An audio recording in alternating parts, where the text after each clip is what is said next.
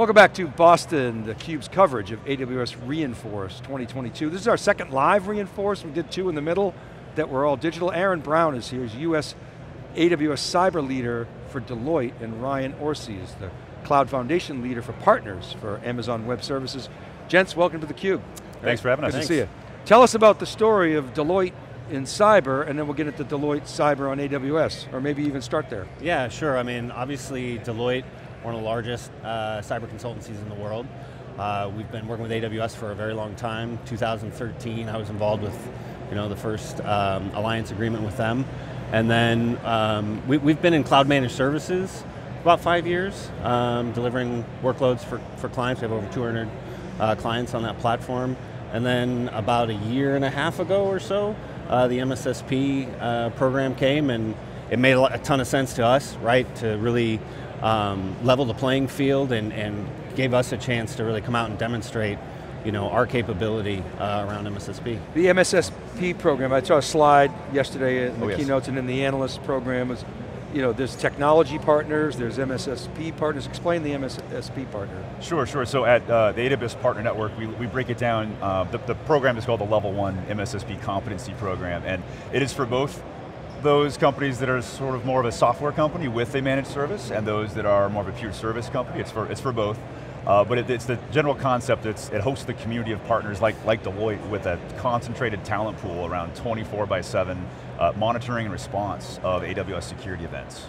So what is Deloitte? Deloitte's not a pure software play, it's not a pure services play anymore, it's sort of a, a mixture. Software, yeah. yeah. So, you know, asset-enabled services, right, is the way that we look at it. So, yeah, we're definitely not trying to compete with, uh, with software companies out there, but we do have assets right? So we, we do everything as infrastructure as code, uh, and that allows us to deploy our solutions into client environments really quickly. So where you might spend months on third-party tool integrations, we leverage all native AWS tools in our standard offering, um, and we can deploy into a client and get those services up and running in a couple of weeks. So you sell your software as an integrated service, is that correct? You, you don't- no, it's service, it's really yeah, service. Saying, yeah, we sell a metered service. You don't sell your software separately, but no. you, you I, no. Mean, I should say it differently, you include your software as part of the service, is that right? Or yeah, you... it is, but uh, actually there's, there's another element. There are obviously some clients who don't want to be in a managed service in perpetuity, and so those same assets that I talked about that we use for our MSSP, you know, for the right clients, we, we don't just give away everything to anybody, but for the right clients, for the right engagement, we will work with clients to help them build the capability that they need to run it themselves. And our solution is built in a way where they can do that, right? Our, we have a base component and a variable component to the solution, and we will impart those assets to a client if they, you know, if, if the situation is right. So, okay, so you'll actually transfer the, the software and and, but would you charge for that? Uh, I mean, yeah, you, certainly, but there's obviously a big service component that goes into it, right? So and that's you know, really where yeah, your, we, your you know, we don't have a we don't have like a, a, standard you know list price, but we'll work with clients um, to, to basically help them build out that capability because, frankly, the the market moves so fast yeah. that you need you need a constant capability an engine to, to update that solution. It's not something that you know, you're going to sell and someone's just going to use it that yeah. out of the box for the next five years. But a lot of the value that seems to, that Deloitte brings is you you don't run from customization. You welcome right. that. You you know if if a client says, hey, I need this special and that special or this compliant or whatever it is, you'll go attack. You have the the, the staff, the talent to attack that problem, and you use software in areas where you can have repeatability and, and it helps you scale and be more productive. Is that a fair way to think about yeah, it? Yeah, that's right. I mean, what, I guess one of the phrases that we use is we like big hairy problems, right? Um, that's, that's sort of our, uh, our sweet spot. The, you know, the very simple, hey, I need a couple of guys to do a couple of things, typically we're not the right firm for that. Um, so we, we use, yes, we use the assets because we realize like, hey, you know, out of everything that needs to be done, there's a significant portion of this that everybody needs more or less the same way. And then we build that, we build the automation to get it in, and then we have that variable component working with clients to say, hey, let's, let's make this work in your environment. We use a combination of AWS native services, but then you know, some clients have investments in third-party tools, and we can work with that. So it's a perfect match for AWS, because you guys are all about providing tools for builders, and here's some primitives, and some APIs, and, exactly. and go. We don't, we, we don't want that highly custom, customized snowflake for every single client. It, Exactly. I mean, that's that's what I feel like the partnership with Deloitte's really bringing to the yeah. table for everybody. Our, our, mutual customers and builders out there that, that we both work with is, again, they don't run from complexity or customization. Uh, that, that, security can be complex. It, it can be hard. Uh, Deloitte's helping making it much easier. Um, the AWS Partner Network is, is helping kind of bring the ecosystem together and of software, service, architectures that AWS would recommend for like a security best practice around what to monitor, how to respond, what kind of enriched data should be added to that security finding, and kind of pushing that out through uh, our partnerships with yeah. such as Deloitte. One of the things that I, I mean certainly big takeaway from this event, the security uh, tracks that reInvent, yep. previous reinforce events is AWS imparting, educating its customers on best practice and how-tos and things that they should be thinking about, you know, do this, don't do that. In 2019, it was a lot about, hey guys, there's this shared responsibility model and kind of explaining that. We, are way, right. way beyond that now. Right. Should we think about Deloitte sort of as an extension of that best practice AWS expertise uh, that can be applied at, at, your clients? I'll go to Deloitte because yeah. I don't have the talent to, to deal with that. I mean, I, I, I got talented people, but I just don't have enough, enough of them. Of them exactly. yeah, yeah, yeah, and that's really what you know. What our offering is intended to be comprehensive across all the domains, and like I said, the full life cycle of security operations, all the way from you know identify the issue to to resolve it and, and recover from it, and um, you know. Um, when we look at the shared responsibility model, you know, we like to say, hey, we will take you really far up that stack, that that that customer responsibility area, you know, um, for our for our service, we cover a significant portion of that landscape on our behind on our clients' behalf. Because you know, what what do they care about? Deploying workloads, getting the application running, right? Security is just another one of those important, necessary things, but it's just sort of standing between you and the business value of your workload. And your ideal target customer would be a, a, a, a, large, medium, up to a large enterprise, or is it all exclusively large, or? Uh, definitely not exclusively large. Um, you know, the, the fact that we have all the automation that we do, we have a significant portion of our uh, security operations uh, folks are offshore, um, allows us to be really competitive. Um, and so we're, we're able to serve clients that maybe you know, in years past wouldn't have been what you'd think of as traditional. So like clients leveraging the marketplace, um, you know, um, we're, you know, we're able to serve that, that market segment. So billion dollar up kind of revenue? Yeah, and, and, and, and even south of that a bit. Okay, yeah. so maybe yeah. half a billion of five hundred yeah. million up. Okay. Yeah. So thinking about that ideal sort of profile, if you don't know, you don't know, yep. but I'm going to ask you to guess. Yeah. What percent of those target companies, enterprises, have a SOC? Is it 100%, 50%? You know, or are you 75, 75 percent, and most, okay. most, most, most, so okay, yeah. but so let's say three quarters. Yeah, yeah. Do you? So you complement the SOC, right? You're not the SOC, but you, you may be in some Depending, cases. it's a, now, now we're talking about it's a function of what their um, IT enterprise landscape looks like. If they're 100% uh, AWS, yeah, if you're born in the cloud startup, and you know you don't do anything else and we have you know we have a few of those right and they they want to give us everything they're like you know we're just going to have a our, our security guys just going to kind of understand what you guys are doing and, and feel good about it yeah um, yeah we do that but for the most it, it, there is an existing SOC right and so what we do is we have um, we we leverage um, you know an ITSM uh, software to to e-bond with, uh, with our clients' service management functions so that when we're generating tickets, they have full visibility to what's going on. We're still resolving things on their behalf. Where we are also, we need to communicate with some clients, right? Because a lot of security issues that need to get resolved require engagement with the asset owner, so it's not, we're not just a black box. Um, so we do have to talk to folks on the ground at the client to resolve issues. And that's actually one thing that really impressed me, getting to know Aaron and, and his team more and more throughout, throughout this, this journey together uh, in the partnership is uh, they're not throwing alerts over the fence to the customer SOC team saying, well, here's some recommended remediation right. steps. They're actually rolling up their sleeves and doing yeah. some remediation themselves and informing the customer, yeah. this was taken care of for you. That's, yeah. I think that's really unique. Yeah. In addition to, you know, our solution obviously has a bunch of auto remediations that, you know, Right. that we do as part of the solution. So, how, what's the engagement like? Um, what, what's the conversation like when people come to you and say, I Right. have a problem, it's blank. Right. The, what are the typical Um, you know, a a lot of it um, has been uh, organizations where there's either a, a business unit um, that is kind of maybe off run and doing their own thing, and you know, it's only sort of come to light with the uh, compliance and security organization inside the client that like, hey, these guys maybe need some help, and boy, we're really strapped. We don't have the we don't have the people because talent's so tight to go help these guys and make them get it right. We're going to go ahead and keep them kind of off to the side, and you know, we'll, we'll do this managed service to help get that addressed.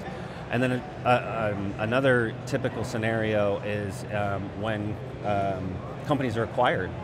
Um, so you know, an organization buys a company and they've got a pre-existing. They look again, they look under the covers and they're like, oh, these guys really need some help. Uh, because of the way that we deploy everything as infrastructure as code really very quickly, um, it's a great way to just kind of get it get it sorted. It's a metered service, so it's not some massive investment that they have to make. We could just get it sorted out until maybe they get they get a chance to process and actually onboard um, that new entity into their enterprise structure. So as part of the, the MSSP program within AWS, you got to be really good at understanding how to utilize the AWS Yeah. portfolio of cybersecurity services, Yeah. right, natively. Yep. So you do that, do you- does that check the box on everything you need, or do clients typically say, no, no, you got to integrate with all this other mess that, that I have there? Can you sweep that mess aside and say, hey, I can do this all in, in, in the cloud, or what's that dynamic The, like? the answer is yes, both, right? Yeah. Um, so, you know, typically clients will have significant investments in existing uh, third-party tools, and then either politically because of the investment or from a practical standpoint, it makes sense to, to integrate those. Now, that does slow down the, you know, the deployment and um, the customization a bit, but, you know, and a lot of times that makes, that makes sense for the client. Well, it gets hairy, like you said, you love these Yeah. kind of hairy, Yeah. hairy Yeah, problems, yeah, right? that's right. Yeah. You run towards it, I That's right, yeah, we run, run run towards towards the fire. And, and Ryan, your focus on, on partners is all partners, or is it really the MSSPs, or? Uh, all, all partners, all kinds of partners um, in, in the security space, right? So Right, right, yeah, of course. Software companies, professional services, managed services, um, and we're, we're focused on making, trying to make security easier for both of our mutual customers here, right? So that what you mentioned about best practices and you know, how do you how do you tell what best practices are per AWS service or third-party software that's operating in an AWS environment? Uh, that's part of what our, our team does, is we create these, these partner programs. There's a very detailed, very prescriptive technical checklist that our internal security experts are going through with, with Deloitte folks, for example, as a part of their, their membership in the Level 1 MSSP program. Uh, to make sure that, right, um, those best practices, which could be fresh off the AWS documentation truck, are uh, built into to their, their services, and the reason those best practices exist is for a, it's for a good reason. Um, they're, they're, they're built, tried and tested you know, in our own environments um, before they reach, they reach the, the, the documentation website. But all, all of that is, is incorporated into that whole kind of validated checklist that we do together. So it's a great way to, to make sure that operations from partners like Deloitte, software delivered, customization delivered, um, aligns with you know, what we're able to see from just our Amazon culture of being so customer obsessed and, and really listening to all of those very specific uh, challenges they might have that the customer will have at different points in their cloud journey. Those challenges are baked directly into key technical requirement criteria that Deloitte's teamed up with us to go, go achieve. What are you seeing at the macro, Aaron? Uh, when we talk to practitioners, we, we will survey, we have a survey partner called ETR, and they'll do spending surveys. Coming into the year, uh, CIOs and IT uh, buyers were expecting 8%, 8, 8 to 8.5% budget growth. Post-Ukraine, inflation, Fed tightening, you know, the tech lash, all that, it's dialed down a bit. Still pretty robust at, at 6%, and security is still remains the number one priority. Yeah. Have you seen, and we've seen a little bit of momentum deceleration in even in security spend across the board, Right. uh, but but not anything you know tragic. Are you seeing the same, or are you seeing security budgets kind of where they were expected to be at the beginning of the year? Yeah, I haven't seen, you know, I haven't seen it decline. I mean, I think the fact of the matter is for all the things that we talked about before, right? Basically the, um, the skill shortages mm -hmm. um, and just the coordination with other cloud programs, there's a tremendous backlog of stuff that needs to be done. And, and you know, uh, enterprises are, are, have more appreciation now for the need for all you know all the various right. you know ransomware um, things that have happened and, and, and, others that hey they need to get a handle on um, on the security in their environment and so it isn't I think a lot of what's been going on in the last year hasn't the, the reason it hasn't been faster hasn't been for a lack of appetite um, it's just been uh, a lack of skills and uh, process to do it. As the business case changed and the, and the, variables may be the same, but it used to be, hey, if you don't do this, you're exposed, okay? It's the fear of getting you know, infiltrated.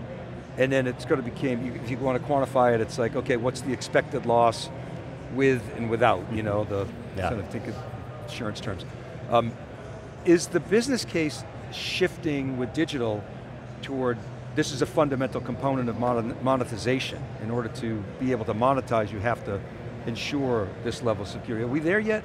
Yeah, I think so. I don't think I don't think anyone's arguing whether it's you know, you know, needed or not, right? So now it's a question of, hey, and, and I think uh, uh, C.J. Moses had a good slide in the opening yesterday where he was saying, you know, make the, what was it, make the path, the secure path, the path of least resistance, right? right? And so that's that's a big part of um, of you know how we deliver our solution. We really want to make it easy for the enterprise to absorb the security services that we have, right? Um, that's, and that's really critical. I think that's where the, the focus is, is make it, make it easier to do security uh, because the value comes right along with it. All right, um, I'll give you each the final word. Uh, Ryan, you, you go first, then Aaron. Kind of put a bumper sticker on uh, Reinforce 2022 it's not slowing down, it's only picking up in terms of innovation, software tools, operational processes, and some of the, some of the unique ways that all these tools are tied together, third party, uh, native AWS, consulting, the way, these, the way these services come together, it's only accelerating. Uh, it's been pretty exciting to see some of the innovation here this, this time at this Reinforce. Right. Aaron yeah, I would agree. I mean, the, just the, the breadth of capabilities um, the, the new announcements uh, by AWS of the capabilities in their solution stack. I mean, for me, it's just, you know, I just kind of wonder like when, when, when does it narrow or when does it, when does it settle down? And it's, I, I know that that's not now. um, Keep waiting. um, yeah, um, but um, yeah, I think, um, you know, we will continue to see, you know, just rap, rapid acceleration in, in new features and uh, services that uh, I often say the, the next decade at cloud ain't going to be like the last. So gentlemen, thanks yeah. for coming on theCUBE. It's great to see you. Great. Thanks for having us. Everything. All right. All right, thank you for watching. Keep it right there. This is Dave Vellante for theCUBE. I'll be back right after this short break from Boston, AWS Reinforce 2022.